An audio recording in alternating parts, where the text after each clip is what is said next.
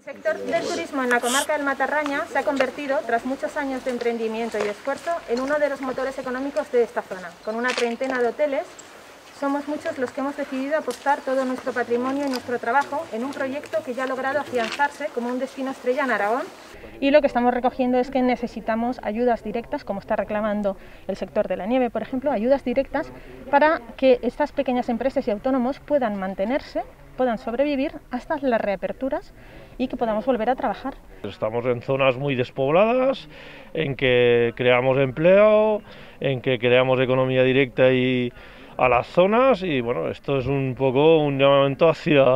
todos los eh, gestores locales, comarcales, provinciales, eh,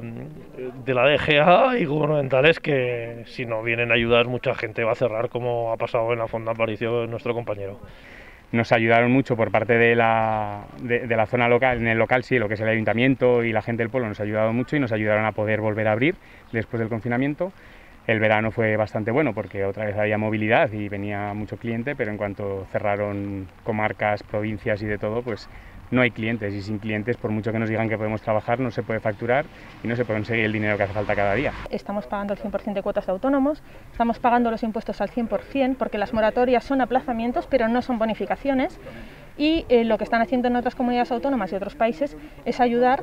a las empresas que les obligan a cerrar. En este caso no nos obligan, pero nos tienen cerrados. Sin turistas y sin viajeros no podemos sobrevivir. Eh, por ejemplo, ayer estaban todos los políticos de España en Cataluña y ellos sí que tienen movilidad y la otra gente no tiene movilidad. ¿no? Yo creo que tendría que haber un,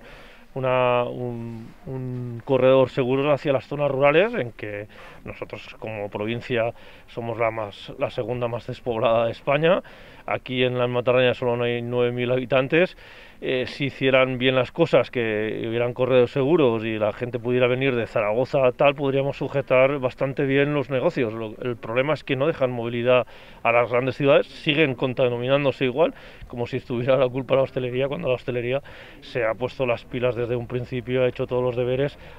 hemos reducido aforos, hemos eh, comprado todos los, aparatos para poder eh, abrir y seguimos castigados por este, esta crisis eh, sanitaria. Nosotros queremos quedarnos en la zona porque vinimos porque la comarca nos gustó mucho, el, lugar es maravilloso y la gente nos ha tratado bastante bien, entonces eh, nuestra intención es quedarnos, seguiremos buscando trabajo. De momento buscaremos fuera de la hostelería porque entendemos que la hostelería no es la solución a día de hoy porque si nosotros cerramos nadie nos va a poder contratar porque están todos muy parecidos y buscaremos trabajo en lo que sea para intentar subsistir. Si nos tenemos que desplazar, intentaremos desplazarnos lo menos posible, que sea al pueblo, a lo que sea, por cuestión de trabajo, a lo mejor por comodidad. Pero nuestra intención de momento es intentar seguir aquí en Fuente Espalda, que es donde apostamos y donde vinimos y estábamos a gusto. Lo que pasa es que tenemos que cambiar de vida.